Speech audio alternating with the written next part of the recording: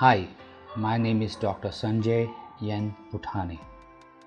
I'm a homeopathy doctor, a homeopathy physician who's been practicing in Koramangala at Sanjay's Homeo Clinic and Diet Center.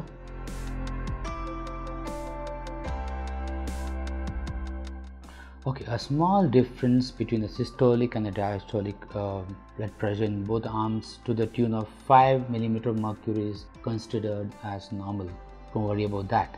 Yes, one thing. Secondly, anything uh, with a difference of more than 10 mm of mercury in both hands is uh, something to be uh, worried about. It could be, I uh, uh, explained to you some hidden ailment inside. It could be something called as peripheral artery disease or some blockages in the arteries, or it could be also some underlying kidney ailment, or it could be diabetes too.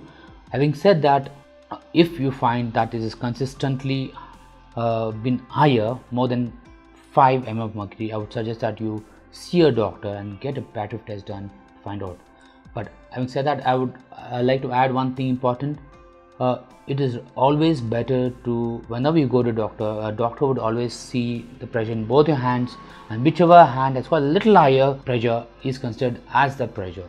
So, if it is more than 5 mm of mercury difference, please see your doctor and see what exactly the cause is.